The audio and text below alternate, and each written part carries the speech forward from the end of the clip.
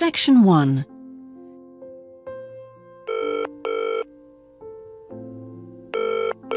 Hello? Motor Insurance Department? Oh, hello. I'd like to ask about insurance for my car. Yes, of course. I'll just take a few details. What's your name? Patrick Jones. And your address? It's 27 Bank Road. 27 Bank Road. Is that in Greendale? Yes. And what's your daytime phone number? My work number is 730453. And could I ask what your occupation is? Dentist. Okay. Now, a few details about your car. What size is the engine? It's 1200 cc's. Thank you. And the make and model? It's a Houghton Sable. Could you spell the model name, please? Yes. S A B L E. Oh, yes. Uh, thanks. And when was it made? 1997. Lovely. Right. I presume you've had a previous insurer. Yes. Right. We need to know the name of the company. Yes. It was uh, Northern Star. Thank you. And uh, have you made any insurance claims in the last five years? Yes. Uh, one in 1999. And what was the problem? It was stolen. But That's fine, Mr. Jones. That's all we need to know at the moment. And will there be any other named drivers? just the one. And his name? Simon Paynter. Could you spell the surname, please? P A Y N T E R. Okay, thank you. And what relationship is he to you? He's my brother in law. And what will you or Mr. Paynter be using the car for? Well, um, mainly for social use. Social use. Will you be using it to travel to work? Yes, sometimes. Travel to work? Anything else? No, that's it. And finally, when would you like to start the insurance? I'll need it from the 31st of January. Right. Mr. Jones, I'm getting a couple of quotes coming up on the computer now, and the best bet looks like being with a company called Red Flag. Yeah? And that comes out at uh, $450 per year. Oh, well, that seems okay. It's quite a bit lower than I've been paying up to now. Great. So, would you like me to go ahead with that? Sure, why not? How would you like to pay? Section 2. Thank you for calling the tourist line. There are many different ways of getting round the city, and we'd like to suggest some you may not have thought of. How about a city trip by boat? There are four main stopping points. From west to east, stop A, Greenbanks, stop B, City Bridge, stop C, Roman Landing, and stop D, Newtown. You can find the main booking office at stop A. The first boat leaves at 8 a.m. and the last one at 6:30 p.m. There are also many attractions you can visit along the river. At stop A, if you have time, you can visit the fine 16th century palace here, built for the king with its beautiful formal gardens. It's very near the booking office. Now you can enjoy every corner of this superb residence. Stop B. Why don't you visit Tower Restaurant with its wide range of refreshments? This is a place where you can sit and enjoy the wonderful views over the old commercial and banking centre of the city. Stop C is the area where, in the first century AD, invading soldiers crossed the river. This was much shallower than it is now. That's why this area is called Roman Landing.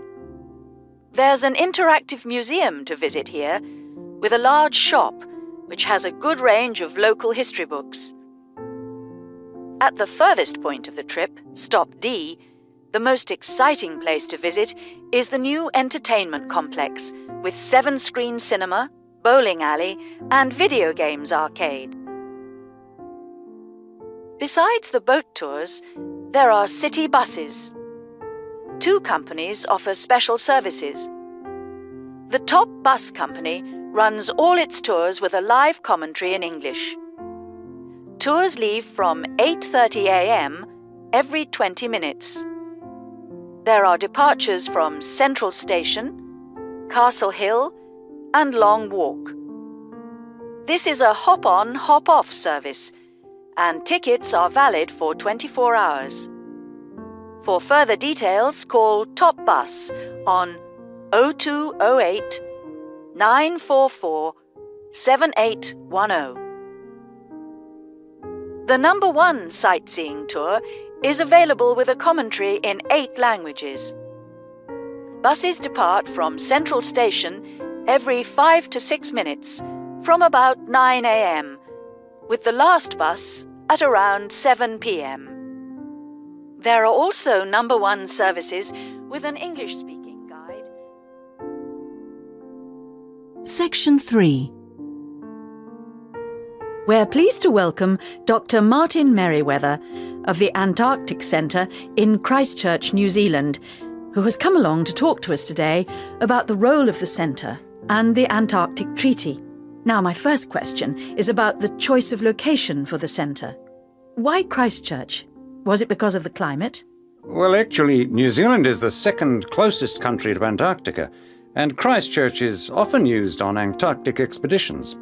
Right, so it's because of where we are, coupled with our historical role.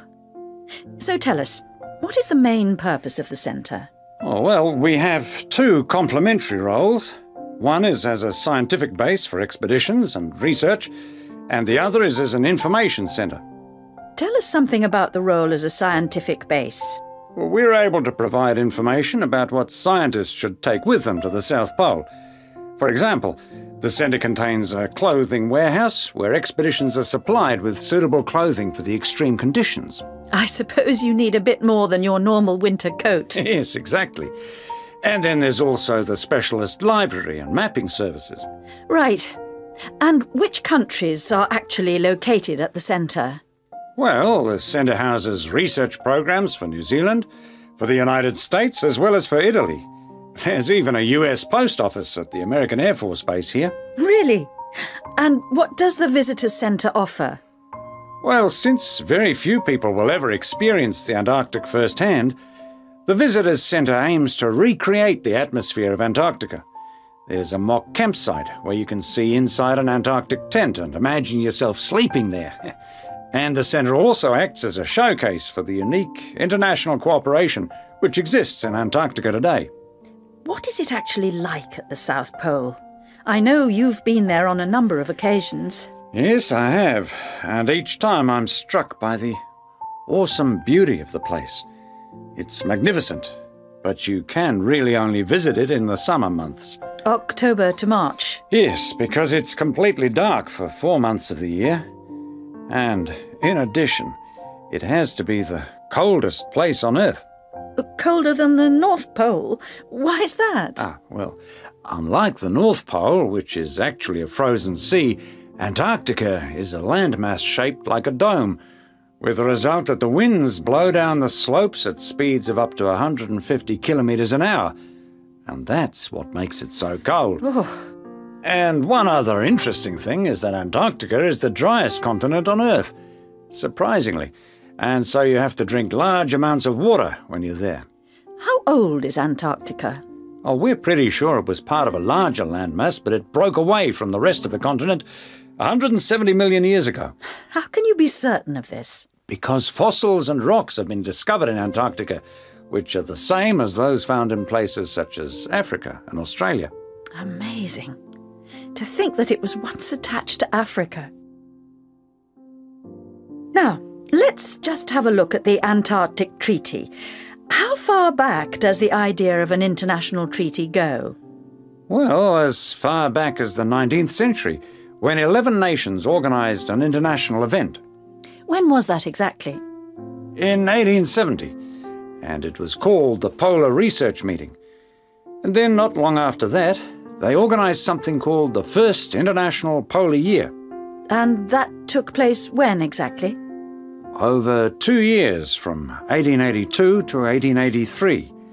But it wasn't until the 1950s that the idea of an international treaty was proposed. And in 1959, the treaty was actually signed. What do you see as the main achievements of the treaty? Well, firstly, it means that the continent is reserved for peaceful use. That's Article 1, isn't it? Yes. That's important since the territory belongs to everyone. Yes, but not as important as Article 5, which prohibits any nuclear explosions or waste disposal. Which is marvellous. Well, I'm afraid we're going to have to stop there because I'm afraid we've run out of time. Thanks for coming along today and telling us all about the centre and its work. Section 4 My topic is handedness. Whether in different sports it is better to be left or right sided, or whether a more balanced approach is more successful. I'm left handed myself, and I actually didn't see any relevance to my own life when I happened to start reading an article by a sports psychologist called Peter Matthews. He spent the first part of the article talking about handedness in music instead of sport, which I have to say almost put me off from reading further. But what I soon became struck by was the sheer volume of both observation and investigation he had done in many different sports, and I felt persuaded that what he had to say would be of real interest. I think Matthew's findings will be beneficial, not so much in helping sports people to work on their weaker side, but more that they can help them identify the most suitable strategies to use in a given game. Although most trainers know how important handedness is, at present they are rather reluctant to make use of the insights scientists like Matthews can give, which I think is rather short sighted, because focusing on individual flexibility is only part of the story. Anyway, back to the article.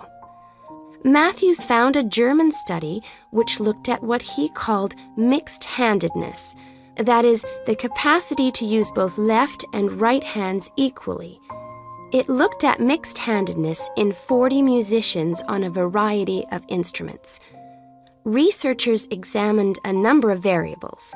For example, type of instrument played, regularity of practice undertaken, and length of time playing instrument, and found the following.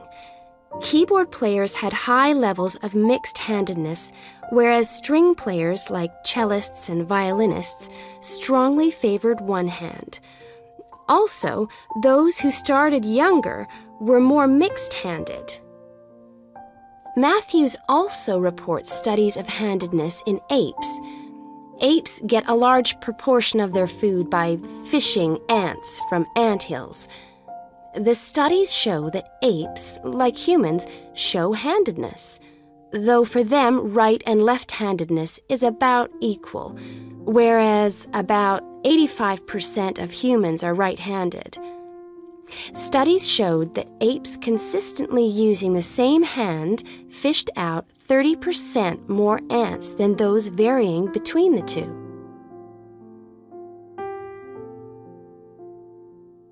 Matthews started researching several different sports and found different types of handedness in each. By the way, he uses handedness to refer to the dominant side for feet and eyes as well as hands.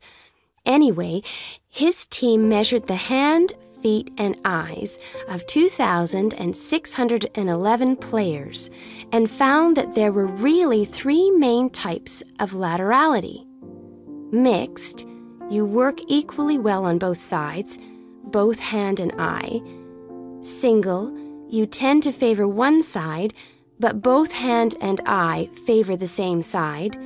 and cross laterality. A player's hands and eyes favor only one side, but they are opposite sides. Let's start with hockey. Matthews found that it was best to be mixed handed. This is because a hockey stick must be deployed in two directions. It would be a drawback to have hand or eye favoring one side. An interesting finding is that mixed handed hockey players were significantly more confident than their single handed counterparts. Things are slightly different in racket sports like tennis.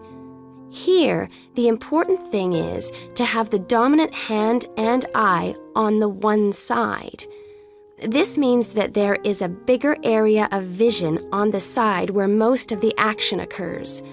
If a player is cross lateral, the racket is invisible from the dominant eye for much of the swing.